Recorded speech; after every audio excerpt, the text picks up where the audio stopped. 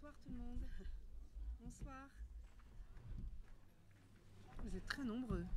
Je, me permets de faire une photo. C'est pas pour les réseaux, c'est pour moi.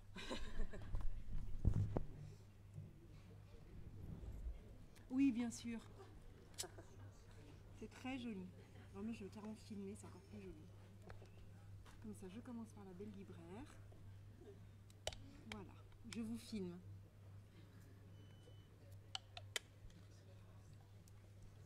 Et voilà.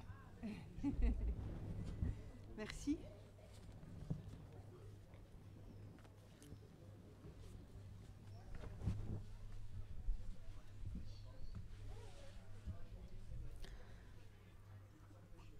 Je pense qu'il faudra. Est-ce que ça va comme ça? Ça va? Vous nous entendez bien? Ben voilà, on va pouvoir commencer. Euh, merci beaucoup Valérie Perrin d'être avec nous ce soir. Merci à vous. Et euh, avant qu'on démarre et qu'on commence à parler euh, des livres, bah, je voulais adresser un grand merci à Jacques Chalvin et au Village des Antiquaires qui nous accueillent ce soir. Alors je ne sais pas où est Jacques, je ne le vois pas, mais je l'ai vu tout à l'heure, il ne doit pas être bien loin. En tout cas, merci à lui, merci à ses équipes, merci à Franck qui s'occupe de la retransmission en direct, puisque nous sommes en direct sur Facebook ce soir. C'est une première pour moi. Euh, et je voulais dire que je trouve que ça a un sens particulier d'être dans ce village des antiquaires ce soir, parce que quand on a lu euh, les trois romans, il y a quand même un attachement particulier aux choses un peu anciennes, aux choses un peu mélancoliques. Euh, en tout cas, une chose est sûre, c'est que je suis arrivée ici à 13h20 euh, à Avignon. J'ai posé mes affaires dans ma chambre, je suis venue ici et j'ai acheté tous les salons de jardin ici.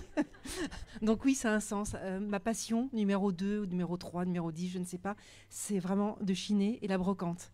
Donc ça a, plus- ça a plus que du sens. Ouais. Bon ben voilà, bienvenue à l'île sur Sorgue. plus le rocking chair, je sais pas où est la dame qui est... Voilà, j'ai tout acheté en fait, c'est horrible.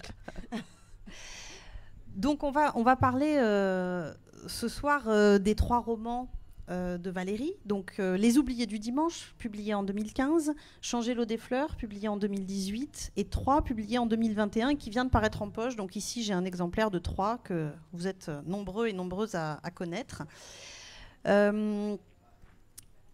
Je voulais peut-être commencer par...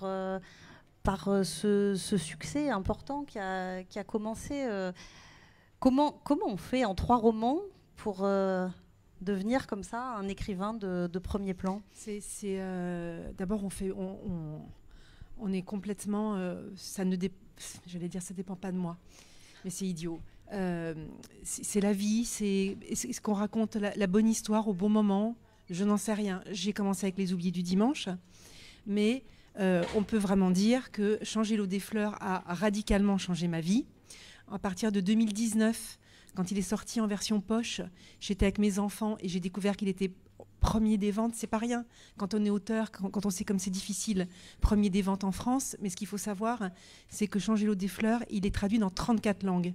Ça veut dire que tout à coup, l'histoire d'une gardienne de cimetière euh, en Bourgogne, euh, qui parle au fond de la vie, de la mort, de l'amour et de, de ce qu'on peut en faire et de ce qu'on fait avec, ça devient tout à coup universel. Et alors là, c'est-à-dire que même mes éditeurs, je pense, qui ont toujours cru en moi, euh, ne peuvent pas s'attendre à, à un tel engouement mondial.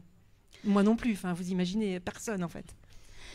Mais alors, c'est vrai que c'est quand même étonnant parce qu'en plus, vous arrivez à nous faire euh, rêver, à nous embarquer dans des histoires avec des sujets qui sont quand même atypiques. Euh, on parle de la guerre, on parle de la trahison, on parle de la mort. euh, En fait, on parle de la vie, on parle de ce qu'on vit, nous tous, euh, ici, dans, cette cour.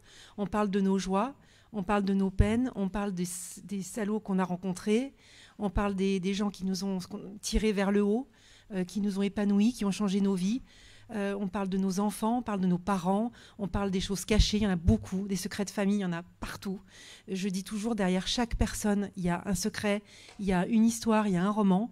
Donc en fait, je crois que c'est vraiment ça. En tout cas, moi, les oubliés du dimanche, il y a ceux qui préfèrent les oubliés du dimanche, il y a ceux qui préfèrent changer l'eau des fleurs, il y a ceux qui préfèrent trois. Mais en tout cas, une chose est sûre, de mes trois romans, tout de même, Violette Toussaint, la, la, protagoniste de Changer l'eau des fleurs, pour beaucoup, beaucoup de lecteurs, c'est quelqu'un de leur famille. Ils ne m'en parlent pas comme d'un personnage, mais comme quelqu'un avec qui ils vivent, près de laquelle il, se, trouve. Et je ne sais pas comment l'expliquer, mais ça aussi, ça ne s'explique pas. C'est très irrationnel tout ça. Moi, je pense qu'il y a quelque chose aussi qui est peut-être un peu cathartique parce que il y a quand même dans tous ces romans quelque chose qui nous renvoie à nos propres peurs, à nos propres inquiétudes. Euh, quand on pense euh, à, ce personnage d'aide-soignante qui est, très touchante, je veux dire, la vieillesse, on est nombreux à avoir peur de, la vieillesse, à la fois de notre propre vieillesse et de, du rapport qu'on peut avoir aux autres à la vieillesse, euh, la mort évidemment, mm. d'en changer l'eau des fleurs. Et donc, ça nous renvoie à tout ça. Oui, bah, je vous donne une anecdote. Les Oubliés du dimanche, quand il est sorti, euh, les libraires me disaient euh, on a du mal à, expliquer aux gens qu'en fait c'est un, livre lumineux parce que dès qu'on leur dit que ça se passe dans une maison de retraite, euh, c'est terrible, ils veulent pas en entendre parler. En fait, il faut savoir qu'en France, on a beaucoup plus peur de la maison de retraite et de la vieillesse que de la mort. Je pense que c'était beaucoup plus facile pour changer l'eau des fleurs alors que c'est une carte cimetière. Il y a quelque chose qui terrorise les gens. Et moi, ce que j'ai voulu faire à travers ce premier roman, un premier roman, c'est toujours quelque chose qu'on porte en soi depuis très longtemps. Et ce sont des obsessions. Moi, j'aime les vieux. Depuis que je suis toute petite, j'allais chez les. Je, je s'appelle les vieux. Dans ma bouche, c'est pas péjoratif. Je les aime d'amour si je vois quelqu'un qui maltraite une personne âgée, ça m'est absolument insupportable. Et quand j'étais petite, j'allais frapper chez les anciens pour qu'ils me racontent leur vie, leurs histoires. Donc forcément, j'y ai mis Justine, qui, elle, explique qu'elle est aide-soignante par choix. Elle n'est pas du tout victime, et ça j'adore. Euh, elle est très forte, elle a 20 ans, et elle dit, mais moi je veux pas être infirmière, moi je veux être aide-soignante, je veux les toucher, je veux leur parler, ok, euh, je passe la serpillère, ok c'est dur, mais c'est ce que je veux faire. Et c'est comme ça qu'elle va nous raconter l'histoire d'Hélène. Donc ça c'était vraiment la première obsession. Et après c'est vrai qu'après c'est une gardienne de cimetière, c'est vrai quand... Et puis le, troisième, c'est je trouve qu'il est différent mais c'est quand même le personnage féminin principal euh, s'occupe quand même euh, tous les jours d'un refuge pour les animaux. Il faut savoir que c'est un quotidien qui est pas rigolo non plus. Alors, ben, on va, on va peut-être rentrer un petit peu dans, dans trois, justement. Euh, alors, est-ce qu'on a besoin de résumer ce livre? Parce que j'imagine que vous êtes nombreuses et nombreux à l'avoir lu, mais quand même, on dit un petit mot? Euh, bah, euh, qu'est-ce qu'on peut dire? On peut partir du. Il y, a beaucoup de choses à cacher dans Troyes. Donc il y a beaucoup de choses qu'on ne peut pas révéler. Mais en tout cas, ce qu'on peut dire, c'est qu'ils euh, se rencontrent en 1986, tous les trois, dans une toute petite ville de Bourgogne qui s'appelle La Comelle. ils vont rentrer au CM2 l'année avant le, collège. Il y a une fille, Nina, et deux garçons, Adrien et Étienne. Et il y a l'appel, l'ordre alphabétique, et le hasard de l'alphabet fait qu'ils se retrouvent l'un à côté de l'autre chez le même instituteur, qui est un horrible instituteur et qui existe dans la vraie vie, parce que je n'ai pas inventé. Beaucoup d'histoires, euh, souvent dans mes romans, existent dans la vraie vie. Et ils vont devenir amis à partir de l'âge de 10 ans, c'est pas rien. Et après, ils vont, ils vont, faire tout le collège et tout le lycée ensemble. Et puis, et puis, surtout, il y a des allers-retours dans ce, dans ce roman. Et surtout, on est en 2017, maintenant tout de suite, et on a une quatrième personne qui s'appelle Virginie, qui a l'air de les avoir très bien connus, ces trois amis d'enfance, qui va nous raconter leur vie sur 30 ans. Et on va comprendre pourquoi, au fur et à mesure qu'on avance dans le livre, pourquoi ces trois-là, alors qu'ils se sont tellement aimés, ne se parlent plus du tout. Et parallèlement à ça, on a aussi la découverte d'une voiture au fond d'un lac. Quel est le rapport Quel est le rapport entre tout ça? Dans le même petit village, on ressort une voiture et qu'est-ce qu'il y a dedans? Je vous le dirai pas. Ah bah non. Il faut lire le livre. Il y a quelque chose en, fil rouge, euh, je crois, à la fois dans ce livre-là et, aussi un peu dans les autres, c'est euh, cette idée très forte de l'amitié. Euh, de la famille qu'on se choisit Oui, complètement. L'amitié, la famille qu'on se choisit. Il y a aussi les thèmes de nos, les parents de nos amis quand on était petit. C'est très important, les, les, parents des amis chez qui on adorait aller, il euh, y a ça, euh, il y c'est 30 ans de vie, hein, donc j'ai vraiment euh, travaillé nos vies, l'intérieur, ce qu'on a vécu. Il y, a beaucoup de choses dans ce roman. C'est le roman qui m'a demandé sans doute le plus de travail, le, le, plus de recherche, parce qu'il y a aussi une bande son avec tous nos tubes sur les, 20, les 30 dernières années. entre 1986 et 2017 français et anglo-saxons aussi. Il y a nos, mauvaises rencontres, nos mauvais choix, nos bons choix, nos belles rencontres. Ce que je vous disais tout à l'heure, c'est vraiment un roman, on, aurait pu l'appeler Trois vies aussi. On aurait pu l'appeler Trois vies. Est-ce que c'est un bon souvenir, l'adolescence, pour vous? Euh, Mais moi, je, je ne pense pas du tout. Pas du tout. Euh, c'est hyper compliqué d'être adolescent. Euh, mais c'est très très fort ce qu'on est quand on est enfant et quand on est adolescent. Et ce qui m'intéressait, c'était de savoir aujourd'hui, quand on a 40 ans, qu'est-ce qui nous reste de l'enfant qu'on a été et, qu'est-ce qu'on porte en soi. Parce qu'il y a quelque chose quand même dans ce qu'on a vécu enfant et dans l'adolescent qui nous poursuivra de toute façon toute notre vie. Ça, c'est sûr. Euh, je pense que l'adolescence, c'est un, un, mélange extrêmement complexe. On a envie de rester dans l'enfance et en même temps, on a envie d'être grand. Et du coup, c'est très compliqué. Et ce qui était très intéressant pour écrire ce roman, j'ai interrogé beaucoup d'adolescents d'aujourd'hui. Euh, j'en ai beaucoup dans ma famille et je me suis aperçue que les, grandes questions existentielles d'un adolescent de 2022 sont exactement les mêmes euh, que celles d'un enfant de 1986, dans son rapport aux autres, j'entends. Je pense qu'en plus aujourd'hui, je pense quand même aujourd'hui tout de même, ce que les enfants ont en plus, c'est vraiment le problème du climat ça, c'est quelque chose dont on ne parlait pas quand moi j'étais jeune. C'est vraiment le, climat, c'est quand même hyper anxiogène parce que là, ils se rendent compte que eux, eux, il faut qu'ils se projettent dans cet avenir-là. Mais sinon, pour les grandes questions sur le rapport à comment je vais séduire, comment je vais embrasser, euh, euh, est-ce que je lui plais, euh, comment va être ma prof, ce sont les copier-coller des questions qu'on se posait quand nous tous, on avait 14 ans. Et puis je trouve qu'il y a quelque chose qui est, qui est très fort. Alors moi je sais pas si je suis euh, pile dans la cible, mais du coup euh, voilà, moi c'est mon âge en fait, tout ça. Enfin 86, euh, j'avais cet âge-là à peu près, 40. Enfin voilà, donc du coup je me suis beaucoup projetée dans, dans ce livre-là et et je trouve qu'il y a quelque chose de très dur aussi à l'adolescence, quand on est collégien, lycéen, c'est qu'on nous demande de faire des choix qui vont conditionner toute notre vie. Et encore aujourd'hui. Oui. Et encore aujourd'hui. Et peut-être aujourd'hui, peut-être pire qu'avant. Pire qu'avant, oui, bien sûr. Il y a ça les enfants, c'est pas tellement le questionnement. Euh, eux, ce qu'ils veulent absolument, c'est faire les mêmes études pour pouvoir partir euh, à Paris tous les trois en même temps. C'est surtout ça leur obsession. Euh, à un moment, d'ailleurs, ils prennent l'option allemand. C'est n'importe quoi, mais c'est pour se retrouver ensemble. Et ça, ça m'est arrivé parce que ma fille et sa meilleure amie ont choisi allemand, donc elle parle pas un mot d'allemand, hein, mais elle savait que comme ça, elles seraient dans les mêmes classes. Et voilà, ça c'est. Ça marchait aussi pour le latin. oui, c'est ça. Il y avait le latin aussi. Ouais. Euh, c'est plus ça. Et puis après, il y a. Comme je pense que ce roman aussi, c'est comme on les connaît petits, on a l'impression qu'on a grandi avec. Je crois qu'il y a ça aussi. Hein, parce que euh, leur, leur, destin va être. J'ai, pour la première fois, euh, abordé quelque chose qu'on n'aborde absolument jamais, j'ai envie de dire. C'est qu'est-ce que c'est que d'être un provincial et de se retrouver tout seul à Paris, dans une chambre de bonne, abandonné, loin de sa petite famille, loin de son cocon, de ses petites villes. On a, on a une enfance extrêmement privilégiée. Et ça, je l'ai aussi expliqué dans trois. J'avais vraiment envie de ça. Bah, c'est vrai qu'il y, y, a quand même une obsession un peu autour de, cette idée de la province, de, cette idée de, alors, il y, a des personnages qui s'y trouvent très bien, et puis il y en a d'autres qui ont cette envie d'ailleurs. Dans Les Oubliés du Dimanche, il y a le frère et la sœur qui ont elle qui veut rester, lui qui veut. Enfin, voilà, il y, a toujours ça un peu dans, en fil rouge comme ça dans les trois livres. Oui, en fait, dans mes trois livres, euh, ça se passe en Bourgogne. Euh, ce sont euh, trois villes inventées, mais je me suis complètement inspirée de la ville dans laquelle j'ai grandi, qui s'appelle Guignon en Saône-et-Loire. Euh, et, c'est vrai que ça m'intéresse toujours de parler de la province parce que en province, on se connaît tous de vue. On, est tous allés à l'école ensemble et on connaissait les parents, et on connaissait les grands-parents et les oncles, etc. Et ça m'intéresse forcément euh, cette proximité. Mm. Et euh, donc, vous l'avez évoqué un peu, il y a plusieurs moments de bascule comme ça dans, dans, ce livre.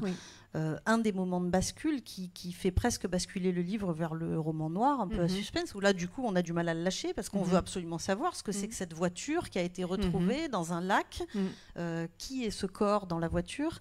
Et donc, euh, on change un peu de paradigme.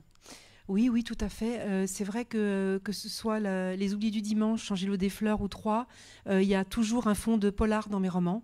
Il y a toujours une enquête, quelle qu'elle soit. Dans le premier, il y a le corbeau.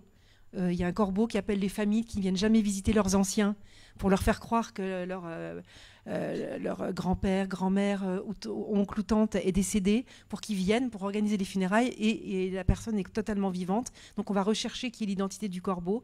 Dans, le, dans Changer l'eau des fleurs, il y a une immense enquête pour découvrir l'origine de quelque chose que je ne vous dirai pas pour ceux qui ne l'ont pas lu. Et effectivement, dans trois, je suis peut-être encore allée plus loin dans le côté polar parce que effectivement, il y a une enquête sur euh, cette voiture euh, qui euh, qu'on ressort du lac après 27 ans. Effectivement, il y a ça. il y a des mariages ratés. il y a des mariages réussis. Il y a des préférences aussi. J'ai abordé ça, ça m'intéressait beaucoup. Les parents qui préfèrent un de leurs enfants. C'est pas, ça peut paraître pas courant, mais en fait c'est très courant, hélas. Mais c'est comme ça, chacun fait ce qu'il peut avec ce qu'il a. Euh, voilà, j'essaie d'être au plus proche de, la vie des gens, quoi, je crois. Euh, moi, je pense que c'est peut-être ce qui fait aussi la, réussite de ces livres, c'est que euh, Enfin, moi, en tant que lectrice, je fantasme pas beaucoup. C'est marrant, j'ai eu une cliente la dernière fois à la librairie qui me dit ah non mais moi euh, les livres euh, du mec qui nous emmène en jet privé et tout ça elle me dit moi ça m'intéresse pas j'ai envie qu'on me parle de quelque chose que je peux vivre parce que le jet privé ça m'arrivera jamais. Donc euh, elle me dit moi j'ai envie que ça qu'on me raconte des histoires qui peuvent m'arriver éventuellement. Et là avec ça on se retrouve du coup beaucoup plus proche de nous en fait. Sûrement. Il y a il y a quand même quelque chose aussi d'assez fort dans ce texte, je trouve, c'est sur la violence sociale.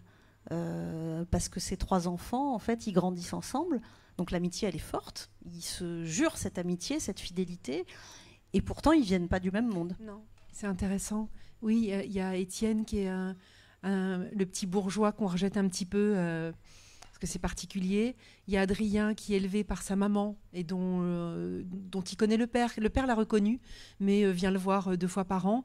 Et puis surtout, on a notre petite Nina qui, elle, a été confiée à son grand-père quand elle était nourrisson et qui se pose beaucoup, beaucoup de questions sur ses origines euh, et, puis, euh, et puis, effectivement, il y a cette violence sociale. Et puis, il y a aussi, j'ai pas trop envie de vous, en, révéler, mais il y a aussi euh, l'ascendant que peut avoir une personne sur l'autre. Comment tout d'un coup on peut se transformer en. J'aime pas ce terme, pervers narcissique, parce que ça passe. on, ne parle, que de ça, mais il y a quand même l'emprise aussi dans ce, roman. à quel moment on peut, on peut. Parfois, on a du mal à, s'échapper de quelqu'un qui vous, qui vous retient et qui vous tient. Oui, qui a tout fait pour vous tenir. Parce qu'elle fait cette rencontre avec cet homme qui il est magnifique. Voilà, qui, l'a fait rêver. Elle a l'impression qu'avec lui, c'est gagné, que sa vie va changer. Voilà. On a un enterrement de vie de jeune fille aussi qui est, euh, que j'aurais rêvé d'avoir. voilà. Euh, j'avais quelque chose en tête en vous écoutant parler et ça m'a échappé, mais c'est pas grave. Euh, il y avait quelque chose dont j'avais envie qu'on parle. Alors il y a un quatrième personnage dans ce livre, euh, qui est la narratrice de, 2017. qui est Virginie. Est-ce qu'on peut en dire un mot sans trop en dire? Ben, Virginie, on sait qu'elle est pigiste, on sait qu'elle est partie euh, de cette ville qui s'appelle La Comelle. Elle est revenue. Euh, elle, fait des traductions de textes. Elle a, et sa particularité, c'est qu'elle semble avoir parfaitement connu Nina, Adrien, Étienne. En tout cas, qu'elle les observait tout le temps et qu'elle est quand même capable de nous expliquer euh, ce qu'ils faisaient au quotidien quand ils se retrouvaient euh, pendant quand même du, du, CM2 à la terminale et puis même après. Donc, on ne sait pas au début. On, se dit mais pourquoi cette fille étrange euh, les connaît si bien et qui est-elle par rapport à toute cette histoire Et puis surtout, c'est grâce à Virginie, qui est pigiste, qu'on va suivre cette enquête et l'avancement de l'enquête de la voiture, de l'épave, euh, de l'accident, du jour de l'accident, de cette voiture qui a été volée tel jour, etc. Et mm. justement, je me posais une question. moi, ce qui m'a frappé dans ce livre, c'est qu'il y a quand même des rebondissements. Enfin, je veux dire, c'est, on raconte des histoires de gens qui sont peut-être simple, comme vous et moi, mais qui pour autant, euh, la construction du livre, elle est ultra complexe. Ils, peuvent aussi, ils peuvent aussi vivre des choses extraordinaires. Adrien va devenir célèbre en écrivant un roman. Ils peuvent vivre aussi des choses extraordinaires, absolument. Oui, c'est vrai. Et, euh, que vous l'ayez lu ou pas, ça, n'est absolument pas important. Mais j'ai construit ce livre autour d'un moment, en fait, dans le, dans le roman. Il faut savoir que moi, avant d'écrire des romans, j'écrivais des scénarios et que donc dans ma tête, c'est extrêmement cinématographique. Je n'écris pas des chapitres, j'écris une scène, je mets deux caméras et je, je plante le décor. Hein. C'est vraiment comme ça que j'écris. Il y a beaucoup de dialogues d'ailleurs dans mes, dans mes, j'allais dire dans mes films. C'est quand même incroyable quel lapsus dans mes, dans mes romans. Et euh, il y a une scène euh, autour de laquelle j'avais la faim, bien sûr. J'avais la faim, j'avais, on en parlera après, le refuge. Et puis, je voulais absolument broder toute cette histoire d'amitié. Mais il y a un moment dans le, dans le livre où les deux personnages principaux, Adrien et Étienne, se retrouvent dans une brasserie à Paris. Et là, il y a une grosse révélation. Et je voulais que tout converge autour de, de ce moment-là, aussi bien l'avant que l'après. Et euh, fait, je suis captivée et du coup, je perds le fil. C'est génial. Ça m'arrive pas souvent. Hein. je suis troublée. Euh, non, oui, non, donc par rapport à cette construction, donc euh, vous, vous, aviez déjà tout prévu. C'est déjà. c'est bien plus compliqué que ça. c'est que j'ai la fin. J'ai toujours eu la fin pour mes trois romans en tout cas. j'ai pour trois, j'ai ce moment-là et puis après, ce que je fais toujours, alors on va revenir euh, aux oubliés, à changer l'eau des fleurs et à, et à Troyes. Avant d'écrire, je rencontre les gens qui sont concernés par mes romans. Ça veut dire que pour les oubliés du dimanche, j'ai travaillé pendant un an avec une aide-soignante qui avait l'âge de Justine au moment où le livre est sorti. Je lui relisais des extraits pour être dans le vrai, pour que ça sente le vrai toujours pour euh, qu'est-ce que j'ai fait d'autre? Non, c'est vraiment les oubliés du dimanche, c'est vraiment que ça. J'ai pas passé d'autres coups de téléphone, c'est vraiment travaillé avec cette aide-soignante. Puis après, j'ai brodé la, beauté de l'histoire d'amour entre Lucien, Hélène, euh, j'ai pas envie de vous en dire plus non plus, mais il faut quand même savoir que dans les oubliés du dimanche, euh, j'ai parlé de Lucien Perrin, euh, qui a été déporté à Buchenwald, et c'est vraiment l'histoire de mon grand-père qui, est, qui, est allé, euh, qui a été déporté à Buchenwald. Après, j'ai romancé l'histoire, mais j'ai beaucoup, beaucoup de, de, de, choses personnelles. Dans Changer l'eau des fleurs, j'ai à Guignon, toujours, j'ai rencontré un fossoyeur, un homme extraordinaire, extrêmement drôle, mais riche de, tout. Euh, et, lui, il a été donc fossoyeur à la ville de Guignon pendant 30 ans. Donc il m'a raconté tout ce qui était concret, les engueulades, les choses dramatiques, euh, les fous rires. Enfin, il m'a vraiment, vraiment fait comprendre ce que ça voulait dire d'être fossoyeur. À l'époque, la gardienne de cimetière et, et, son mari étaient encore dans la petite maison près du cimetière, donc il m'a raconté les blagues qui se faisaient et tout. Et j'ai tellement aimé euh, cet homme qui s'appelle Norbert Jolivet, que je l'ai transformé en personnage. il est devenu Nono, euh, le meilleur ami, le, confident de, Violette dans, euh, dans Changer l'eau des fleurs.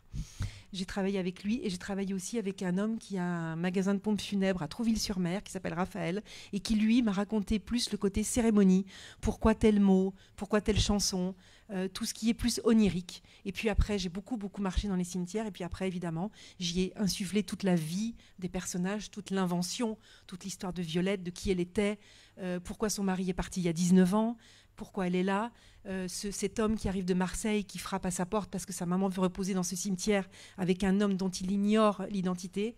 Voilà, après j'ai construit l'enquête et toute l'histoire, je déroule des fils en fait à chaque fois.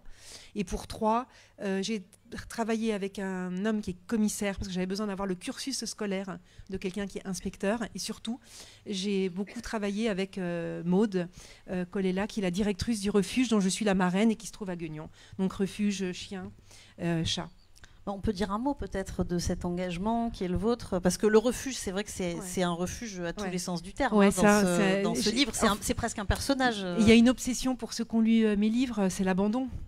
Euh, et effectivement, euh, qu'on abandonne un chien, qu'on abandonne un enfant, euh, qu'on s'abandonne soi-même, c'est assez obsessionnel chez moi. Et, quand, quand j'ai découvert ce refuge à Guignon, j'avais fait une émission télé et la, la présidente m'a contactée pour que je sois leur marraine. J'ai dit oui. Alors au début c'est dur, je le dis hein, dans, dans, trois. Oh, les gens qui aiment les animaux en général détestent les refuges, ils ont très très peur de, rentrer dans un refuge parce qu'ils ont peur de se confronter au regard des animaux, c'est pas drôle, et puis, euh, et puis on a envie de tous les prendre comme ils me disent tous, mais bon, bref. Et euh, donc je suis rentrée une fois, deux fois, trois fois. J'ai beaucoup pleuré, mais surtout ce que j'ai remarqué, c'est que tous les bénévoles, tous les gens qui travaillent dans ce refuge étaient extraordinaires. Et surtout, ce qui m'intéressait, c'est que ce sont mes, euh, tous les milieux euh, sociaux sont représentés dans un refuge. Il y a vraiment des gens euh, qui sont à la retraite, qui veulent aller promener, des gens qui sont en galère, des gens qui sont tout seuls. Je trouvais que c'était un peu le microcosme parfait pour parler de l'humanité. il y a ceux qui abandonnent dans un refuge, mais il y a ceux qui viennent recueillir. Donc il y a toute la beauté, la laideur, la peur, euh, le découragement. Il y a tout, ce qui fait tourner aussi ce monde, juste, juste dans un tout petit refuge euh, en Saône-et-Loire. Et par rapport à cette écriture euh, en deux époques, enfin 86, 2017, est-ce que quand on écrit, on écrit d'abord l'histoire de 86, ensuite l'histoire de 2007, où les choses se répondent comme elle est construite non, dans alors le livre? je, je, travaillais au fur et à mesure, chaque jour. Donc non, non, je, je travaillais au fur et à mesure. Et effectivement, on remarque dans le roman euh, les grands événements mondiaux euh, que j'ai parsemés pour qu'on ait tous, parce qu'on a tous les mêmes repères, hein, les tours. Euh, le mur de Berlin, enfin voilà, tous ces grands, euh, les attentats, euh, tous, ils sont là, mais de manière ils sont derrière et en même temps là, euh, mais ils sont là parce qu'ils sont là pour nous tous, en fait, pour toujours. On sait tous ce qu'on faisait le jour des tours, on sait, on sait tout ce qu'on faisait le jour de, des attentats au Bataclan, euh, on se souvient de ça. Donc du coup, c'était très important aussi de, de, mettre un tout petit peu euh, de, no, de, nos vies et de, notre actualité, l'actualité mondiale et, et, française aussi. Parce qu'il y a aussi des, les émissions, nos émissions qu'on regardait dans les années 90. Des choses le, qui ont disparu. Le, le juste prix euh, de, de, la rue, euh, Pradel, enfin tout ça. Avis de recherche, enfin tout ça quoi. Mm. Et euh, on, on l'a dit tout à l'heure en introduction, vous êtes une écrivain à succès ou une écrivaine, je ne sais pas comment vous aimez qu'on dise, une auteure à succès. Comment est-ce que ça se passe aujourd'hui avec votre éditeur? Est-ce qu'on est qu'on vous met la pression? Parce qu'on sait aujourd'hui que dans les, dans les grands auteurs français qui, qui sont voilà, des auteurs à succès, euh, certains écrivent un livre par an, euh, il y a cette espèce d'astreinte. Mm. Vous, vous, êtes, vous vous faites beaucoup plus ah, désirer. Euh, moi déjà, c'est humainement, c'est impossible euh, quand on voit mes romans de l'écrire en, en, un an, c'est impossible. Parce que c'est pas écrire en un an, c'est d'abord écrire en... Je sais pas, je sais même pas comment il faut, en 7-8 mois. Après, il y a les relectures et puis... Elle a l'impression, donc c'est impossible. Euh, je le sais déjà, c'est humainement impossible de toute façon. Euh, et non, j'ai la chance d'avoir un éditeur qui ne me met pas la pression. Ils connaissent mon rythme. Ils savent qu'il me faut deux ans, deux ans et demi pour écrire. Euh, trois, je le disais tout à l'heure, ma... j'ai honte de dire ça parce qu'il y a des gens qui ont des métiers tellement difficiles. Mais vraiment m'a épuisée. Il m'a fallu reprendre un an de force, vraiment. Donc là, je suis prête, mais je n'ai pas pu écrire. C'était on n'est pas des machines, quoi. On va chercher des choses euh, très loin, c'est très profond, c'est viscéral, c'est de la chair, quoi. C'est de la chair, ouais, vraiment. Et, du coup, ça y est, là, ça y est, c'est bon, c'est reparti. Mais seulement maintenant, hein, en sachant qu'on est au mois de mai et qu'il est sorti en mars dernier, euh, en mars l'année dernière, euh, et que j'avais fini de l'écrire. Enfin, j'ai non, c'est pas vrai. J'ai fait des corrections. Je suis très très maniaque, donc je fais des corrections jusqu'à la fin. Mais ça y est, je suis prête. Mais il m'a fallu un an pour me dire, je peux écrire deux lignes, quoi. Ouais. Et donc là, ça y est, c'est reparti? Ouais, c'est reparti, je crois. ouais, je crois. Mm. C'est secret? Ah non, pas du tout. C'est pas secret, c'est que je crois parce que je suis. C'est vraiment le début et ça se construit. Mais ça y est, j'ai passé le pas d'ouvrir l'ordi et de dire ça y est, maintenant on y va. Alors, vous l'avez dit tout à l'heure, euh, c'est vrai que ces trois romans sont très euh, cinématographiques. Je pense que tous, on s'est construit un imaginaire autour de ça. Euh, ils sont très incarnés, en fait. Oui, oui. Et c'est marrant parce que je, vais m'arrêter une minute sur ce mot. Euh, je ne sais pas où est Julie, mais euh, tout à l'heure, on était. Euh, Julie, c'est une de nos bénévoles, auteurs. Et cet après-midi, on était au foyer d'accueil médicalisé pour les traumatisés crâniens. Et elle a parlé de l'incarnation de ces personnages. Et il y a un monsieur, en fait, qui comprenait pas ce que ça voulait dire incarner. Et, je trouve que c'était une question très intéressante qui, qui, a, qui, nous a occupé un moment pour dire c'est quoi incarner un personnage. Et alors peut-être que je vais vous poser la question comment est-ce qu'on incarne ces personnages? Qu'est-ce qui fait que vous arrivez eh ben, à nous les transmettre? Moi, alors je, pense que ça, ça, ça, ça, revient à ce que je vous disais tout à l'heure pour le scénario. Euh, ce que j'adore, euh, ce que j'adorais quand je travaillais avec euh, mon mari, c'est que euh, j'adorais savoir pour qui je travaillais j'adorais savoir pour quel acteur je travaillais. Parce que comme j'ai parfaitement la dialectique, le, le, la voix, euh, je pense à notamment euh, pour Jean-Louis Trintignant et Anouk Aimé, quand on a écrit la suite, Les plus belles années d'une vie, hein, euh, c'était jubilatoire d'écrire pour ces deux-là, parce que Anouk, je la connais personnellement, donc je sais exactement comment elle parle, comment elle réagit, comment elle va réagir sur telle ou telle phrase, comment presque elle va le jouer. Et Jean-Louis, qui a la plus belle voix du monde, je savais comment ça allait sonner. Ça, c'est merveilleux. Et moi, du coup, comme je viens de ça, euh, j'incarne moi-même mes personnages, c'est-à-dire que je me mets à leur place. Donc je le dis toujours euh, à mes amis comédiens, je fais le même métier que vous, sauf que moi je suis derrière mon ordinateur, je ne suis pas sur une scène, mais j'arrive à être un vieux monsieur, un, un, môme de 4 ans, une jeune fille de 20, de 20 ans. Euh, j'arrive complètement à me mettre à sa place et à ressentir ce qu'elle qu ou il ressent à ce moment-là. Et du coup, ouais, je crois qu'ils sont très incarnés. Ou alors, par exemple, pour vous avez presque, je pense, tous lu Changer l'eau des fleurs, un personnage comme Sacha, que j'ai créé de toutes pièces, que je n'ai pas rencontré, euh, c'est quelqu'un que j'aurais aimé rencontrer. Donc j'invente une rencontre que j'aurais aimé faire. Et euh, justement, il s'est passé quelque chose d'important pour changer l'eau des fleurs euh, cette année, puisqu'il y a eu une vraie incarnation physique au théâtre. Racontez-nous un petit peu, parce que nous, on n'a pas eu la chance, je pense, de, euh, voir cette pièce. Alors déjà, le, départ, il est incroyable, parce que c'est Caroline Rochefort est associée avec ma belle-fille Salomé Lelouch. ils ont, elles ont une boîte de production, elles produisent plein de spectacles. Et Caroline passe Gare de Lyon, elle va au Festival d'Avignon, où elle rejoint euh, Salomé, où ils ont une pièce cette année-là, c'était en 2018. Je venais avoir le prix de la Maison de la Presse. Caroline prend ce livre, le lit dans, euh, en ligne partie dans le, train, euh, Paris-Avignon. Et quand elle arrive, elle dit à Salomé Il faut qu'on achète les droits de ce livre, c'est un bijou. Et Salomé lui dit Tu te fous de moi Et Caroline, elle ne comprenait pas parce que voilà, elle comprenait pas ce que voulait lui dire Salomé. Et elle lui dit Mais c'est ma belle-mère. C'est ma belle-mère, Valérie Perrin. Et, Caroline, tout le temps, quand Salomé parlait de moi, elle disait ma belle-mère, ma belle-mère, elle écrit des livres, mais alors elle n'avait pas du tout fait le rapprochement. Donc Salomé m'appelle pour me dire ça, pour me dire que euh, c'est incroyable. Hein, Et puis, je connais extrêmement bien le travail de Salomé. Euh, ça fait des années qu'elle fait de la mise en scène et qu'elle écrit des pièces de théâtre et que c'est génial. Et en plus de ça, j'ai tout de suite su qu'elle allait faire qu'elle allait écrire et faire cette mise en scène avec un homme qui s'appelle Michael Chirignan et qui a mis en scène la liste de mes envies de Grégoire de la Cour et j'ai jamais vu, c'est une des plus belles pièces que j'ai vues de ma vie.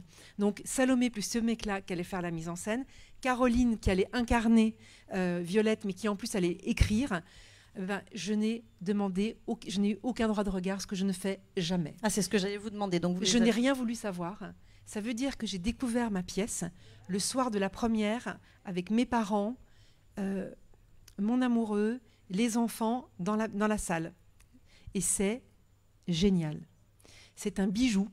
Ils ont résumé mon grand roman en 1h10. Ils n'ont gardé que trois personnages, mais ils ont, il y, a, toute la tessiture, toute l'odeur, tout ce qui peut représenter Change le verre. Ils l'ont, ils l'ont, ils l'ont pas trahi. C'est magnifique. Donc c'est un immense succès. Et ça, du coup, il l'amène à Avignon cet été. Bah voilà. Aux Chênes Noires, c'est ça On m'a dit, ouais. Ouais, voilà. Et après, il repart dans un grand théâtre à Paris. Après, il y aura une grande tournée. En fait, c'est extraordinaire. Si vous pouvez le voir, euh, je sais pas, Caroline ne va pas pouvoir incarner toute sa vie euh, Violette, mais c'est incroyable. Mais justement, est-ce que, euh, parce que du coup, si, si, on est un peu sur le terrain du cinéma, est-ce que ça veut dire que ces livres qu'on a tous imaginés comme ça avec des personnages, est-ce que ça veut dire que ça pourrait arriver Ou est-ce que pour changer l'eau des fleurs, du coup, maintenant c'est entre guillemets trop tard pour le cinéma parce que c'est elle et ah Violette et ça restera elle? Oh non, non, non, pas du tout parce que euh, y aura, y a il va y avoir une autre adaptation normalement, euh, soit quatre ou soit six épisodes euh, pour avoir le temps justement de faire tout le contraire de ce qu'ils ont fait quelque part où on va pouvoir dérouler le fil que moi j'ai déroulé à travers le roman. Ça devrait être un immense metteur en scène qui le fera. Euh, c'est pas mon mari, euh, parce qu'il m'a toujours dit je trahis les auteurs, donc tu vas me détester. voilà. Euh, euh, quand ce sera annoncé officiellement, je pourrais dire qui mais c'est juste le rêve. Et donc ce sera une production italienne et française. Enfin, c'est génial. Voilà. Et je crois que la personne, ce metteur en scène, était, était, fait pour écrire ça. Et on va voir si on le fait en 6 ou 8 épisodes sur une plateforme, mais je ne sais pas encore laquelle.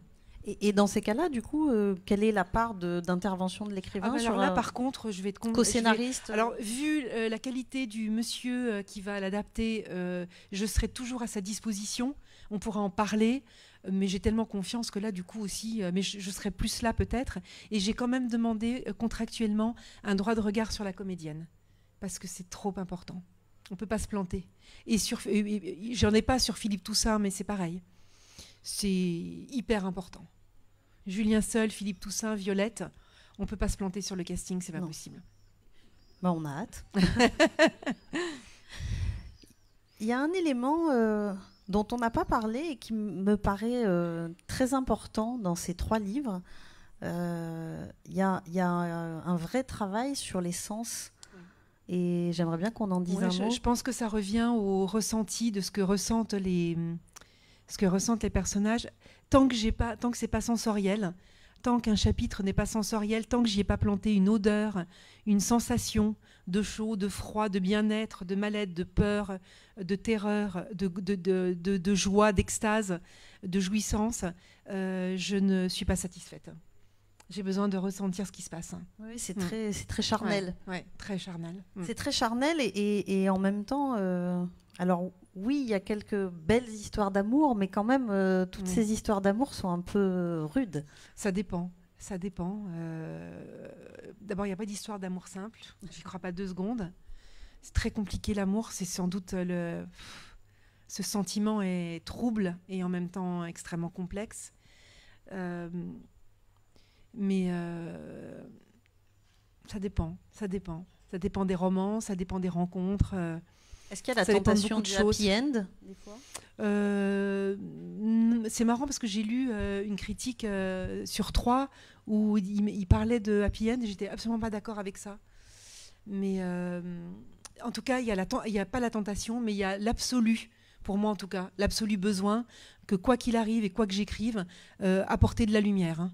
Je ne supporterais pas d'écrire un, roman euh, ou de faire un film qui finirait dans le noir, le sombre, sans espoir. Pour moi, c'est impossible. Je pense que les artistes aujourd'hui sont là pour donner de l'espoir aux gens. Donc même si j'aborde des thèmes extrêmement compliqués, extrêmement difficiles, il y a toujours une porte de sortie, il y a toujours de la lumière, il y a toujours des failles pour laisser entrer la lumière dans mes romans. Je pense les trois, vraiment. Il euh, y, euh, y, a, quelque chose de, très fort aussi, on, l'a un peu évoqué, mais donc sur, cette France périphérique et, euh, sur, cette idée de départ. qui est un peu aussi au, cœur des textes, et, aussi de comment ceux qui partent sont jugés.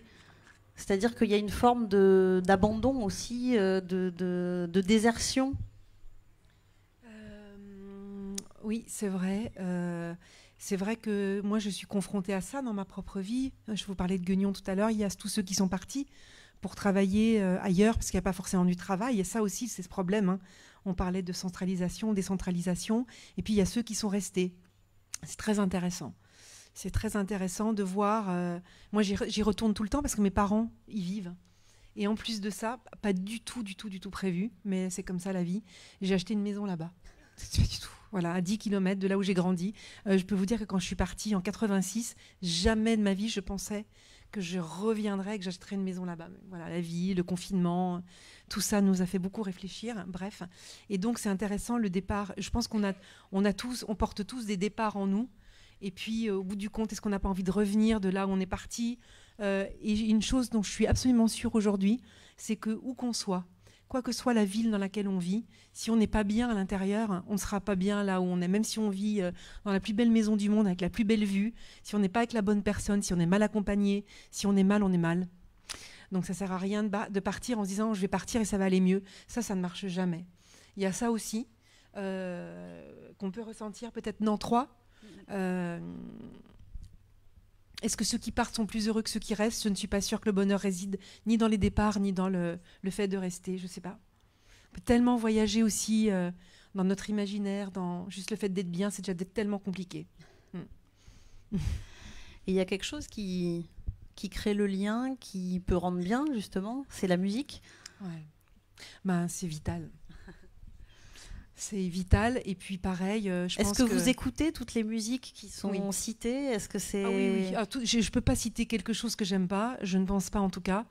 Et euh, oui, j'écoute, j'écoute euh, bien sûr. Et, et surtout, je pense que chaque individu, quel qu'il soit dans le monde, a sa chanson préférée. Euh, donc euh, c'était important. Euh, on, a tous notre, on a tous une BO par, par personne. On on a tous une bande originale personnelle. Et c'est vrai que là, dans, dans trois, on a aussi bien Cure, Dépêche Mode, Indochine, tous les tubes des années 90, Les Inconnus, je sais même plus ce que j'ai mis là, tu m'oublieras. Oui, Indochine, évidemment. J'avais besoin aussi, alors j'ai choisi Indochine parce que c'est un groupe qui existe depuis 40 ans. Et j'avais besoin de gens comme ça qui aient grandi parallèlement à la vie des autres. C'est-à-dire qu'ils ont commencé, ils avaient euh, une vingtaine d'années, et aujourd'hui Nicolas Sirkis, il a 60 ans. Et ça m'intéressait beaucoup euh, cette, bande originale là aussi, euh, de, voir que eux, ils ont résisté parce que alors Indochine, l'histoire du groupe, elle est extraordinaire et ils ont connu tous les drames. On les a abandonnés, on les a critiqués, on les a traînés plus bactères, on tournait le dos physiquement quand Nicolas et son jumeau arrivaient quelque part. Et demain soir, je vais les voir au Stade de France. Et là, ils vont faire tous les stades de France et, c'est à nouveau toutes les générations qui vont voir euh, ce groupe. Et je trouvais que c'était très beau, ça aussi. Ça, c'est même pas de la résilience, c'est euh, un miracle qu'ils soient encore là, qu'ils soient encore debout. Mm. Euh, on va pas tarder à vous passer la parole parce que je suis sûre qu'il y a plein de questions. Euh, il y avait peut-être un, dernier thème qu'on peut, qu'on peut aborder. Euh, vous l'avez évoqué un peu avec l'histoire de, votre grand-père. Euh, il y a quand même aussi un, attachement à, nous parler du passé, à nous parler de l'histoire. Je crois qu'il y a un attachement à nous parler. Alors de toute façon, la mémoire, c'est obsessionnel. Garder, garder, euh, comme euh, Violette qui, qui garde tout dans des cahiers où elle écrit tout ce qui se passe à chaque enterrement, parce que si on n'a pas pu venir, la personne qui va passer va lui demander, elle va pouvoir lui raconter ce qui s'est passé. Il y a cette chose de retenir, c'est sûr chez moi, euh, assez obsessionnel. y a le, grand-père de Nina est facteur. le, courrier aussi est très important, la lettre. écrire encore dans un monde aujourd'hui où on écrit de moins en moins et on, on tape sur nos ordinateurs et sur nos, téléphones. Il y a ce truc de retenir, bien évidemment, euh, la beauté de ce qui est ancien. Et en même temps, j'adore le présent. Mais euh, j'aime les Méharis et j'aime être ici. Parce qu'ici, on est entouré quand même de choses. Je crois que ce que j'aime, en fait, dans la brocante, c'est que j'essaye d'imaginer, je ramène des objets à la maison qui ont appartenu à d'autres gens, à d'autres vies. Et j'adore euh, l'idée qu'un objet, tout d'un coup, n'est plus qu'un objet, mais qu'il a peut-être une âme et que peut-être euh, je vais en prendre soin comme quelqu'un en a pris soin il y a 50 ans. J'aime bien cette idée-là aussi. Bah, il y, y, a souvent quand même dans, les livres aussi justement cet attachement euh, à, ces petits objets, à, ces, à, ces, petits détails qui font encore une fois l'incarnation. Euh, très fort chez, dans, le, dans la, chambre au-dessus de la loge de Violette. Ses crèmes, ses livres, sa chambre. Très important ça aussi. Moi j'ai encore quelques questions mais on va peut-être dialoguer un peu avec vous, vous laisser euh, la parole. Il doit y avoir un micro quelque part. Voilà, Véronique a un micro. Donc euh, levez la main et, euh, et on vous passe le micro.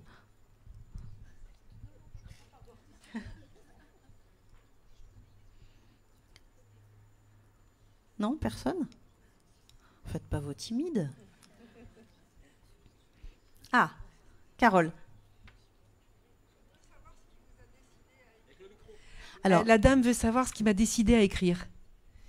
Donc, euh, on ne décide pas d'écrire. Euh, on, porte quelque, on porte quelque chose en soi.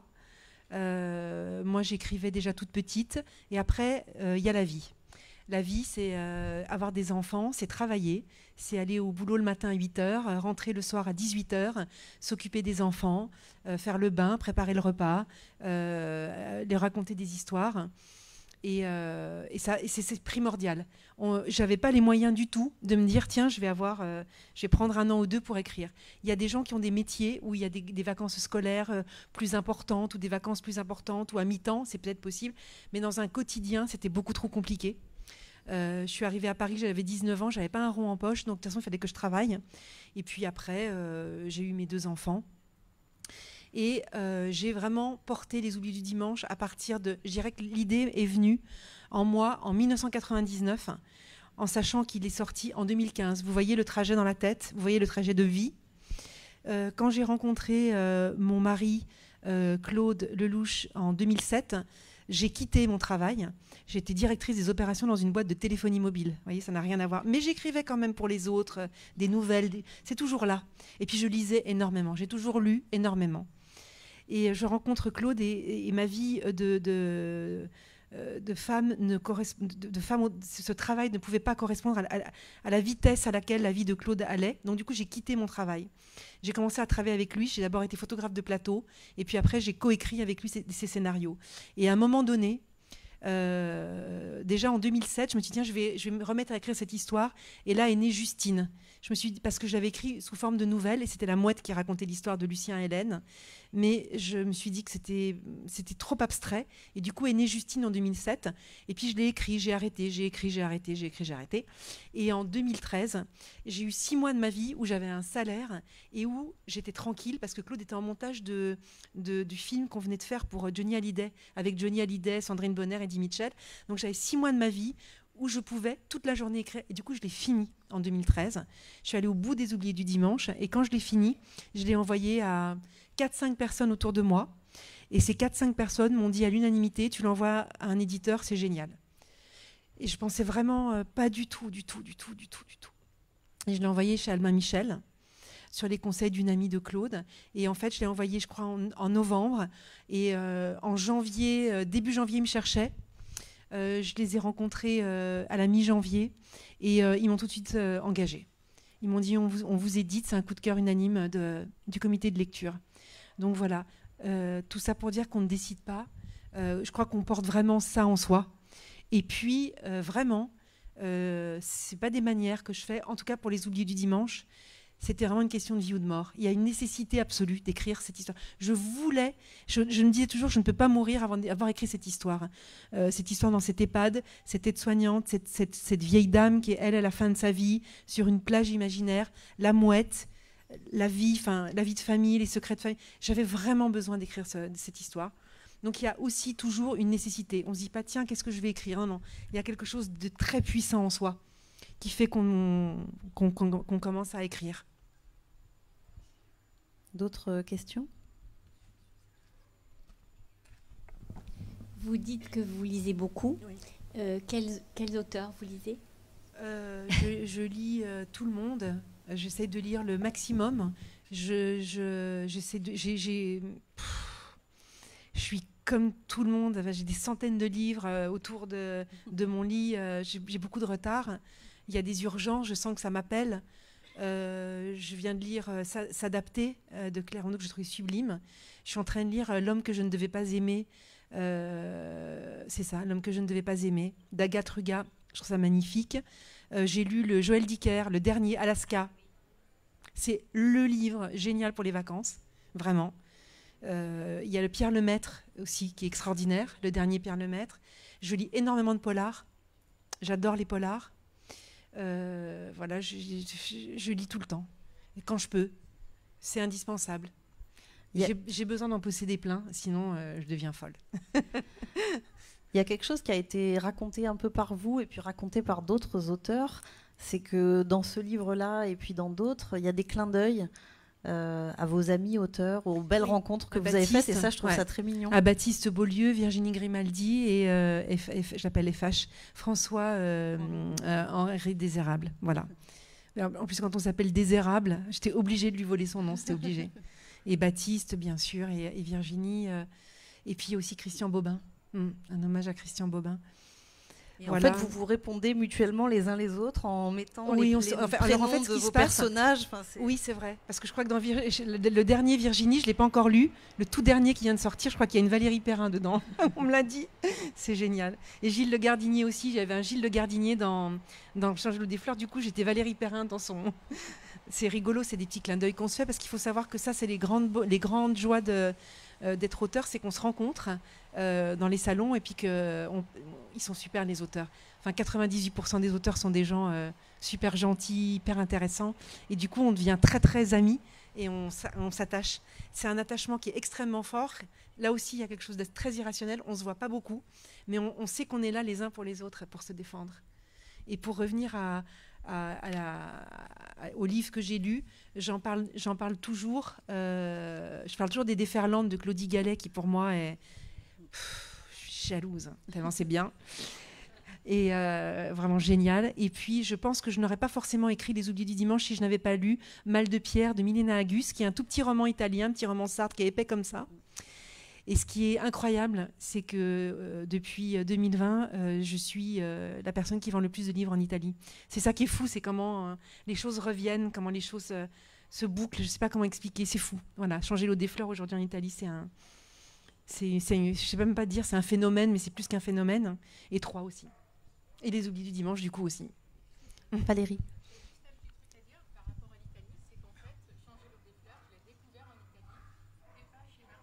Ce que la dame dit, c'est que la dame, elle a découvert changer l'eau des fleurs en Italie et pas ici, pas à sur la sorgue Un, soir sur un petit port. voilà, en fait, dans un tout petit village italien, le soir, la librairie était ouverte mm. jusqu'à très très tard et je suis rentrée euh, acheter euh, des livres. Il y mm. avait un rayon de livres français. Et c'est là, enfin c'était l'été dernier, donc je l'ai découvert super tard. Et euh, pendant une semaine, j'ai nagé, nagé, nagé pour justement pas le terminer si vite. et pour le savourer encore et que ça dure. Pourtant, il est long. Hein. mais voilà. je comprends. Donc, euh, l'évocation mm. par rapport à l'Italie. Mm. J'ai eu l'année dernière, comme les gens ne pouvaient pas partir très loin à cause, euh, il y avait encore plein de restrictions, c'était démentiel parce que j'ai ressenti, j'ai reçu des centaines de photos de gens qui étaient en vacances en Italie et sur les plages, les gens lisaient ou trois ou changer l'eau des fleurs. Et ça, euh, je le mesure pas. Alors je vais à Rome, je vais signer à Rome euh, le 1er hum, juillet. Et je reçois, ça me fait rire, et je reçois un prix très prestigieux en Italie le 2 juillet pour l'ensemble de ma carrière. Et j'ai fait que trois romans, c'est très drôle. Je suis très touchée. D'autres questions, réactions? Moi, j'avais une question. Tout à l'heure, on a parlé euh, des romans préférés des lecteurs, que chacun avait le sien. Euh, et vous, est-ce qu'il y en a un que vous aimez un peu plus que les autres? Euh, je, pense quand même que L'ombre du vent de Carlos Ruiz Zafón reste quand même un chef-d'œuvre absolu, parce qu'on a tout, et on a quand même un, bel hommage à la, à la littérature, à l'amour des livres, à l'amour. Euh, j'adore, euh, je, suis sûre que je dois beaucoup à Nagavalda aussi, parce que je pense qu'il y a quelque chose euh, c'est pas et puis David Fuenquinos, j'aime tous les livres de David, je les trouve tous géniaux. Jusqu'au dernier numéro 2, enfin j'adore vraiment tout ce qu'il écrit. On a comme ça des auteurs euh, le jour de la sortie, on y va quoi. David, c'est comme ça, euh, Anna Gavalda, c'est comme ça aussi, Pierre Lemaître aussi beaucoup dans, dans les contemporains, Claudie Gallet, ouais. Ma question en fait, c'était pour les vôtres. je dois préférer un non, livre. pas forcément. Alors, est-ce que l'un chasse euh, l'autre? Est-ce que alors l'un ne chasse pas l'autre. Je suis celui dont je suis le plus fier, c'est trois, pour un, millier de raisons, parce que je sais moi qu'il y a une progression dans trois, que je suis allée très très loin, mais euh, je dois tout à Justine et Hélène et à Pépé, Mémé, je ne me rappelle plus comment, des Oubliés du dimanche, et puis que dire de Violette? Je vis avec elle tous les jours, je lui parle tous les jours, je la remercie toute la journée, toute la nuit. Euh, voilà, elle sera toujours là. Euh, euh, quand, la vie bascule à ce point-là, c'est juste, je lui dois tout. Je dois tout à cette femme. D'autres questions, réactions? Non? Moi, je vais vous, vous poser encore une question. alors peut-être plus sur le plan de l'écriture. Euh, comment ça se passe avec l'éditeur euh, Donc on a parlé de la première édition, mais, mais aujourd'hui comment ça se passe? Parce que selon les auteurs, c'est très différent. Euh, vous voulez dire avec quel est mon rapport avec ma maison d'édition oh, Oui, enfin comment l'éditeur intervient? Est-ce qu'il intervient beaucoup? Est-ce Il intervient tout le temps. En fait, il faut savoir que quand on, quand on sort un livre, c'est une machine de guerre. Il y a il y a un département qui va organiser vos déplacements, il y a un département commercial qui va faire ce qu'on appelle la mise en place, euh, il y a quelqu'un qui va regarder les ventes pour, euh, pour, euh, gérer les réassorts, il y a le côté marketing. Aujourd'hui, beaucoup sur les réseaux. Moi, je connaissais pas du tout les réseaux avant d'écrire Les Oublis du Dimanche. C'est mes enfants qui m'ont inscrit, qui m'ont fait un compte Facebook. Euh, mais en fait, je me suis rendu compte que déjà au début, j'avais Facebook et que les gens m'écrivaient beaucoup via Facebook. Et puis que je pouvais aussi, à travers Facebook et à travers Instagram, dire où je me déplace parce qu'on ne le sait pas forcément. Et les gens qui, aiment beaucoup mes livres aiment savoir où je suis. Donc j'essaie de les tenir informés le, plus vite possible et le mieux que je peux. Et donc il faut savoir que dans une maison d'édition, tout le monde a, son, a sa part. Il y a le travail à l'étranger. Moi, moi euh, le département étranger chez Albin Michel, ils ont quand même vendu mes trois livres dans je ne sais pas combien de pays du monde. Ils ont fait un travail absolument remarquable. Euh, donc c'est une machine de guerre, on n'est pas tout seul. Derrière nous, il y a, tous ces départements. Puis après, Albin, c'est une vieille maison, donc ils ont quand même un, savoir-faire. Mais, par rapport au, moment de l'écriture, est-ce que, euh, une fois que le manuscrit est rendu, est-ce qu'il y a une intervention de correction Il faut savoir que... moi, je suis très particulière, je suis extrêmement solitaire. Je suis vraiment, je m'entends bien avec la solitude. Donc en fait, quand mon éditrice est là, mon texte, en général, je l'ai fait pour, non pour les dimanche bien sûr que non mais pour changer l'eau des fleurs et pour trois je l'ai fait. Elle elle ma fille Tess et mon mari ont la moitié du roman en même temps pour avoir leur retour. Et, euh, et après quand ils le relisent euh, c'est fini. Donc après mon éditrice elle va le relire mais c'est déjà fini si elle intervient, c'est pour me dire bah là je suis pas d'accord ou ça ou ça, et où je suis d'accord avec elle, j'entends ce qu'elle veut me dire, ou je, je, ne suis pas d'accord avec elle. Mais euh, ce qui m'a demandé beaucoup de travail euh, sur trois, c'est que je me suis rendu compte au dernier moment qu'il y avait une correctrice qui faisait des corrections sans que je les ai validées, sans que je les ai vues. Ça, ça me rend dingue. Je peux devenir très méchante. Vous voyez, je suis gentille moi dans la vie. Hein. Mais alors on touche à mon texte une virgule, un point, un mot, sans m'en parler, je peux devenir folle. Donc du coup, j'ai dû relire hein, mot à mot pour être sûr qu'il ne m'ait pas trahi ailleurs. Hein. Parce qu'il faut savoir qu'on est très obsédé et que pour moi, un mot, s'il est là, c'est pas par hasard. Et voilà, et c'est quand même beaucoup de pages. Donc euh, ça, c'est pour ça que ça m'a demandé beaucoup plus de travail. Donc la prochaine fois, je vais prévenir plus jamais ça. Et puis en plus de ça, j'avais une correctrice qui, qui, faisait beaucoup de zèle et qui avait beaucoup, euh, qui intervenait beaucoup sur plein plein de choses, mais trop. Donc du coup, il fallait corriger la correctrice. Ça m'a demandé trop de travail. Donc sur le quatrième, je vais être tranquille, je vais demander, euh, voilà, euh, un truc beaucoup plus cool. Mais sinon, tout se passe bien, tout le temps. J'adore plein de gens chez Albin, vraiment. C'est comme ma famille. Et au livre de poche aussi. Hein. Je leur dois tout au livre de poche, beaucoup. Je dois beaucoup au livre de poche. Parce qu'il faut savoir que Les Oubliés du Dimanche est sorti de façon assez confidentielle. Il a eu 13 jolis prix littéraires quand même. Pour un premier roman, c'est magnifique. Mais il faut savoir que euh, entre les ventes du grand format et les ventes du, livre de poche, où c'est un groupe de, de, femmes extraordinaires, on est passé tout de suite à des ventes phénoménales. Et c'est grâce à ça que quand Changer l'eau des fleurs est sorti en grand format, plus le prix de la maison de la presse, que vraiment j'ai vraiment exister euh, en tant qu'auteur, vraiment. Anne-Sophie Oui, euh, moi j'ai trois questions, mais je vais faire vite. Euh, en vous écoutant, j'ai envie de vous poser la question est-ce thérapeutique d'écrire? Ben, c'est un peu brut, en fait, hein, non, non, c'est vachement intéressant parce qu'en fait, moi, j'écris pour mes lecteurs. Et en fait, même quand j'avais pas euh, de lecteur du tout, euh, Les Oublis du Dimanche. Je, l'écrivais pour le lecteur. J'écrivais le livre que j'avais envie de lire en tant que lectrice, mmh, dès le début. Euh, donc, je ne pense qu'à mon lecteur quand j'écris. Mmh. Le reste ne m'intéresse absolument pas. Mmh. Donc, j'essaie de ne rien m'interdire, je ne me censure rien du tout. Euh, mais euh, une chose est sûre, c'est que euh, dès les oubliés du dimanche, je ne savais pas du tout si j'allais être édité, je ne savais pas à quel moment je l'enverrais, etc. j'ai écrit pour mon lecteur. Après, Changer l'eau des fleurs, j'ai déjà écrit pour mes lecteurs qui existaient autour des oubliés du dimanche. J'avais déjà eu beaucoup de retours, des rencontres dans les salons. Les gens vous disent Valérie, s'il vous plaît, continuez à écrire. Puis alors après Changer l'eau des fleurs, je vous dis pas. Alors là, c'était pitié, écrivez. C'était vraiment ça. Alors, je vous dis pas la pression que j'avais pour trois. Mais alors là, on n'en a pas parlé de ça. Mais euh, autant vous dire qu'à chaque nouveau roman, c'est euh, la barre est tellement haute que euh, je ne sais pas jusqu'où j'irai.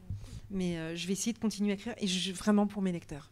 D'accord, merci. de rien. Cette réponse. je participe à des ateliers d'écriture et justement ce dimanche, j'écrivais un texte et le choix des prénoms et comme vous parlez beaucoup de prénoms, j'adore. Euh, comment euh, vous, les, euh, vous les captez dans le ciel, enfin dans votre tête dans, Violette, je ne me rappelle plus comment elle est arrivée.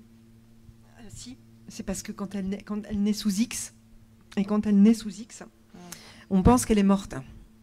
Et en fait, elle est Violette. Et donc, du coup, la sage-femme ne s'emmerde pas, elle appelle Violette. Mais Violette, en même temps, c'était pas que ça, parce que euh, la violette, euh, la, symbolique de la violette est une petite fleur qui a l'air fragile, mais qui est extrêmement costaud et extrêmement rustique. Et quoi qu'il arrive, on peut l'écraser, hop, elle se relève, et en plus de ça, elle repousse de printemps en printemps. Ah, Donc la symbolique était vachement forte. D'accord. Mm. Et dernière chose, c'est par rapport aux EHPAD. Est-ce que vos livres, votre livre est lu dans les EHPAD? Est-ce qu'il y a des actions? Énormément. Les oubliés du dimanche, alors énormément, mais, les médecins, mhm. les infirmières, le personnel soignant. Et il y a beaucoup de, bénévoles dans les EHPAD qui lisent mhm. les oubliés du dimanche aux anciens. Ouais. Bon, merci. Ouais, de rien.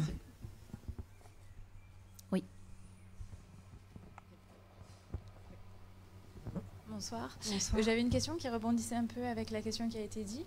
Quand vous avez dit que vous écrivez pour vos lecteurs, quand vous avez vu que c'était des lecteurs internationaux, est-ce que ça a changé, mis à part la pression supplémentaire, j'imagine, est-ce que ça a changé quelque chose dans votre façon ah de voir les choses ou d'envisager l'écriture? Ah, C'est drôle. Euh, le fait que ce soit un italien ou un anglais ou un américain, non. Non, parce que euh, ma fille le définit extrêmement bien. Un jour, elle me l'a dit, et je trouve que c'était la perfection, cette définition. Elle a dit, dans tes romans, il y a le même ADN. Dans les trois, on ressent, c'est le même ADN. Et du coup, cet ADN-là, euh, il doit être international ou pas. Je ne sais pas ce que trois donnera dans le monde. Je sais à peu près ce que donnent euh, les oubliés du dimanche, mais non, pour moi, le lecteur, c'est c'est nous, c'est ici, c'est maintenant. C'est vous, une jeune femme c'est tous les âges. Alors moi, ce qui est hyper impressionnant aussi, et ce qui impressionne beaucoup aussi Alma Michel, et on en parle beaucoup, c'est que moi, je touche aussi bien la personne qui lit trois livres par semaine que la personne qui lit un livre par an, et de tous les âges, et de, tous les milieux, et de tous les sexes. Donc c'est universel, et ça, c'est un miracle, et je ne saurais pas l'expliquer. Je pense que oui, sinon... Euh, Donc du coup, c'est peut-être déjà quelque part universel, du coup. Merci. Mais c'est une super question qu'on m'avait jamais posée. Merci. Euh, oui, je voulais savoir, en ce qui concerne la première de couverture, qui, qui, en fait le choix Vous voulez dire la quatrième ou la couverture la, première, la photo La première de couverture. La photo Ce qui, euh, c'est valable pour tous les livres. Souvent, ça n'a aucun rapport avec euh, le bouquin. Alors là, dans les mains, ce n'est ni commercial ni. Vous avez la réponse dans les mains. Vous avez les oubliés du dimanche. Vous voyez, en dessous là, c'est ma fille qui est sur la couverture. C'est moi qui ai fait cette photo. La jeune fille avec les cheveux rouges au bord de l'eau avec la valise bleue. C'est moi qui ai dit à ma fille, oh, j'avais commandé cette valise bleue sur le bon coin. Je lui ai dit, viens, on va faire des essais. Et Alba Michel a retenu cette photo. En plus, il y, a un goéland, mais c'est la symbolique de la mouette qui passe. Mhm. Ensuite, pour changer l'eau ben, des fleurs, c'est moi sur la couverture, sur le grand format. De dos avec le chignon et les roses. Ça devait être ma belle-fille Salomé. Et ce matin-là, elle m'appelle, elle est malade comme un chien mais j'avais demandé à mon meilleur ami de venir avec un appareil photo et un, un autre meilleur ami de, qui est coiffeur de faire une jolie coiffure avec cette barrette et les roses. Et, euh, et on devait aller le faire au cimetière Saint-Vincent, donc du coup c'est moi qui l'a coiffé et c'est moi qui suis de dos. Et euh, pour trois, euh, j'ai trouvé cette photo il y a quelques années sur une banque d'images et ça a été une évidence absolue pour moi. Ces trois, ces trois enfants qui se jettent dans l'eau comme ça. Euh, c'était avec la lumière dans la tête des garçons. C'était exactement ce que je voulais raconter. Et comme je savais, j'ai tout de suite su qu'il allait s'appeler Trois et qu'on peut ne pas comprendre ce que ça signifie comme, euh, comme, euh, comme titre, il fallait que ce soit incarné physiquement par les trois personnages.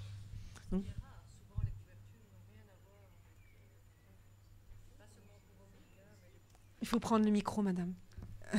Oui, en général, les couvertures n'auront pratiquement ah rien à voir Vous trouvez euh, hein la couverture euh, Non, je crois pas, non. Non, je crois que ça a à voir quand même souvent. Non, pour les vôtres, oui, d'accord. Ah, mais pour les autres aussi, non Vous qui êtes libraire, en général, les éditeurs essayent de faire en sorte que ça ait à voir. Et d'ailleurs, nous, en tant que libraire, on sait qu'une couverture ratée, c'est un livre qui ne se vendra pas. Mais normalement, euh, la couverture est censée quand même avoir un. Mais oui. J'aime bien, ceci dit. Je trouve pas que les couvertures soient racoleuses. Ce n'est pas un hamburger qu'on vend. C'est vrai. Mais euh, c'est intéressant cette question parce que, par exemple, changer l'eau des fleurs, on a changé. Euh, on a changé avec le livre de poche parce qu'on avait un vrai souci avec cette couverture. Il y a plein de gens qui pensaient que c'était un feel good book avec ce vert et ce rose et que c'était un roman à, à, à dame. Et du coup, les hommes n'allaient pas vers ce, vers ce livre alors qu'ils ils ont estimé que c'était littéraire. Et quand Gilles est arrivé chez Albin Michel, c'est le, le, nouveau directeur, il m'a dit Je trouve qu'il y a un énorme malentendu entre le texte et cette couverture. Et les filles du livre de poche étaient d'accord, du coup, c'est bleu avec des fleurs blanches. Voilà. Par contre, pour trois, c'est tellement une réussite cette couverture qu'on a repris la même pour le livre de poche. Mais c'est intéressant euh, la couverture. On peut se planter aussi. Hein. Ah bah, hmm. Marie? Moi, j'en ai eu deux. Donc, Changer l'eau des fleurs, qui a été pour moi vraiment. Euh, je crois même que dans votre façon d'écrire, il y a quelque chose d'affectif, il y a de l'amour dans ce que vous dites. Et c'est difficile de se détacher de, du, j'allais dire du film, donc du livre. Donc changer l'eau des fleurs, j'ai traîné, j'ai traîné, j'ai traîné parce que je voulais pas que ça se termine. Et quand j'ai pris après trois, eh ben, j'ai trouvé que je retrouvais un peu ce côté affectif, ce lien qui se, qui se tisse dans votre écriture et que je trouve vraiment, euh, moi ça m'a enchanté et je vous remercie beaucoup. Merci infiniment, c'est très gentil, merci. J'ai eu une anecdote. Euh, j'ai rencontré quelqu'un, je ne sais plus où, dans, dans quelles circonstances, mais c'était une rencontre en librairie. Il m'a dit Je ne le finis pas. Ça fait des années que je le lis. Et puis quand suis presque fini, je ne veux pas le finir, alors je le relis depuis le début. Ça, j'avais jamais fait, j'avais jamais entendu, c'est extraordinaire. moi, c'est marrant parce que c'est le contraire. Moi, c'est des nuits blanches pour arriver au bout. Je peux, je peux pas arrêter. Et si j'arrête, je dors pas. Donc c'est. Mais chacun, euh, chacun est, son propre lecteur. Est-ce qu'on a encore euh, une ou deux questions? Il y a encore une question au fond, s'il te plaît, Véro. Merci.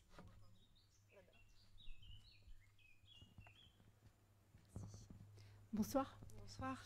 Euh, J'ai envie de vous poser la question de comment est-ce que vous choisissez les titres de vos romans? Parce que Changer l'eau des fleurs, je viens de terminer par exemple, et moi je trouvais que le personnage était beaucoup plus proche du, créer un jardin, être proche de la terre, plutôt que, enfin, ce qui, rendrait son image, ça serait plutôt ça que le fait de changer l'eau des fleurs, quoi. Alors, changer d'abord changer l'eau des fleurs, c'est une symbolique.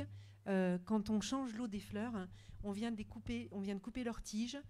Pour moi, hein, d'accord, dans mon imaginaire, on, a, on vient de faire le ménage, on a ouvert les fenêtres en grand, on a changé l'eau du vase, on a coupé, euh, euh, on a coupé les tiges, on les met dans l'eau fraîche, on les met un peu dehors, et ça veut dire qu'elles vont vivre. Euh, donc ça veut dire c'est comme une maintenir la vie, les maintenir. Je suis comme vous, j'aime pas les fleurs coupées. J'aime vraiment les, fleurs en terre, quoi. D'accord. Je voulais l'appeler Violette Toussaint, mais mon éditrice m'a dit ça ne va parler à personne, on ne sait pas qui elle est. J'ai fait, j'ai écrit, j'ai fait des listes.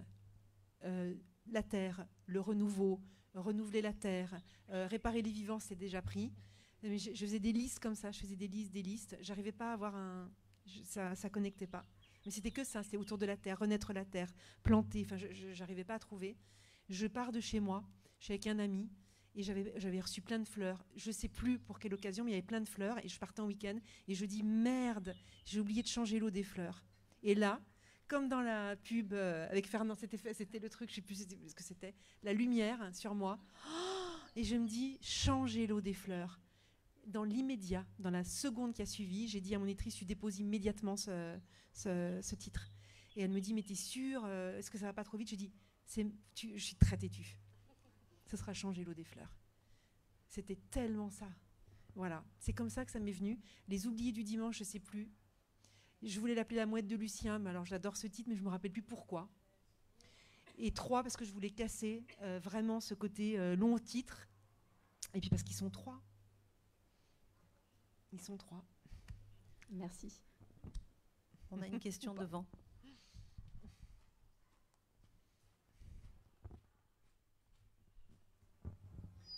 Moi, je voudrais vous dire que je ne vous ai pas du tout aimé. Parce que mon épouse à côté, quand elle était dans votre livre, il n'y avait plus rien qui comptait. Tous les marines disent ça. C'était épouvantable. je connais. Ceci dit, je, viens d'acheter Changer l'eau des fleurs et ce soir je commence. Merci. Ah, j'ai déjà eu beaucoup ça aussi. Hein. On te déteste, ma femme ne me parle plus, je m'enferme, je connais. Merci. Si vous avez une dernière question, prends une dernière question et puis après je pense qu'on passera aux dédicaces. Mm. Non? Bah, avant de remercier Valérie, je voulais quand même vous dire, parce que comme je l'ai dit, bah voilà, je suis perturbée. Euh, il y a des rencontres comme ça qui, m'impressionnent peut-être plus que d'autres. Euh, mais donc j'ai remercié le village des antiquaires et puis, euh, et puis je vous ai même pas dit qu'on était là au festival d'Ir sur la Sorgue. Alors il y a des panneaux partout, mais quand même, je voudrais dire un grand merci aux bénévoles qui se sont mobilisés sur ce festival depuis des semaines pour essayer de faire en sorte que ce soit une réussite. Donc merci à tous. Et puis on vous attend nombreux ce week-end parce que voilà, ça a commencé depuis mardi soir, ça continue ce soir et ça, et ça continue ce week-end, donc samedi, dimanche. Donc il y a des programmes sur les tables, n'hésitez pas à les prendre. à Compredon, à la galerie 4RT rue Danton, à l'hôtel Dongier demain après-midi. Euh, à la maison d'Oramar à Ménherbe euh, dimanche après-midi. Enfin voilà, il y a encore plein de belles choses à découvrir, donc euh, n'hésitez pas à nous rejoindre. Merci beaucoup. Merci à vous, merci, d'être venu. Merci beaucoup, merci, merci.